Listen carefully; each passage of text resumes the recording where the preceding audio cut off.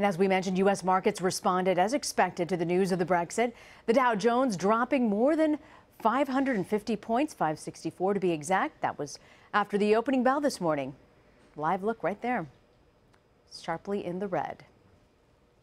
And joining us now, we've got chief strategist from Belpointe Asset Management, David Nelson. Okay, David, you got to give this to us straight. There are some people Sure. who have said the sky is not falling, it has fallen. And there are other people that are saying it's not going to be too bad.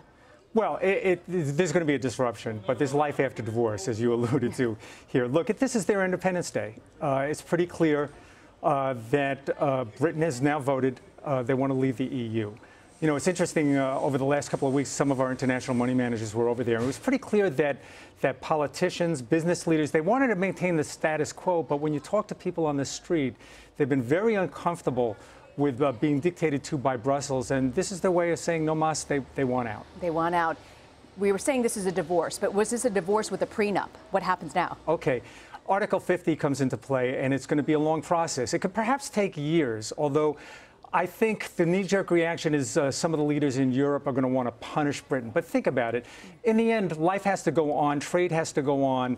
I think, I think they work it out. It obviously has short-term implications for markets around the world, and we're feeling, we're feeling that today, especially right here in the United States. There are currency movements. We saw a big drop in, in, in uh, the British pound sterling. Uh, oddly enough, the FTSE, uh, Britain's market, is actually faring better than most in, in the rest of the that? world. Part of it is because the falling currency, because that's good for their exporters, and I think investors understand that. So they're probably gravitating over there. That could be a short-term phenomenon. Uh, these are generally not one-day events. I'd like to say that it's over right now. They generally, you know, over a period of days, perhaps weeks, this will settle out. I don't think you'll see the very first real meaningful bounce until probably about Tuesday or Wednesday Why Tuesday or Wednesday? generally around three days to wash out. Uh, a lot of people are positioned in the wrong way. This went 180 degrees the wrong direction. The polls, uh, certainly the bookies, had this all wrong. And in the last couple of days, the markets have been up pretty strongly, both in Europe and here in the United States, pricing in a Remain vote victory. And then around 10 o'clock, the news started to come in. And it was a pretty scary, uncomfortable evening. Most of us were up all night. Yeah, a lot of people were up all night. Uh, a lot of heartburn there. I want to ask you also what you're watching for in the coming months.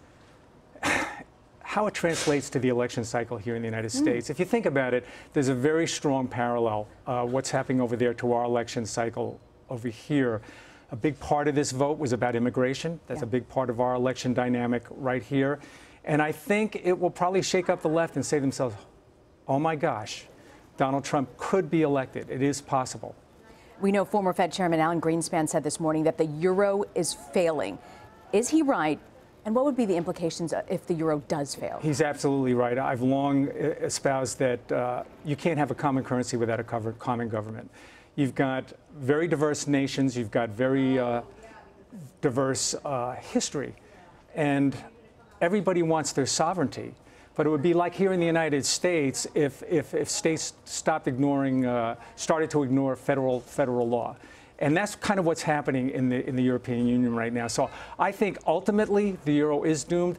I don't think the eurozone is, is going to disappear. I think what will happen is it'll probably shrink smaller. Britain is not the last to exit. There will be others. Hmm. You don't bring good news for people who are in the European Union. If I'm watching you today from the European Union, I'm one of those countries that's still in. Why should I even stay then? Well, look, this could be a wake-up call. Doesn't mean they can't change. Uh, if I was one of the leaders uh, over there, I'd be taking this message very loudly, very succinctly, and start to make some changes. Uh, the same can be said here. It's a vote that the bureaucracy is, is, is not getting the job done. There's a whole swath of people, both there and here in the United States, that feel left behind and feel that government has let them down. Uh, politicians are going to have to answer for it here in this country, just as David Cameron answered for it. He uh, resigned within hours. David Nelson, thanks for joining us. Thanks for having me. Appreciate it.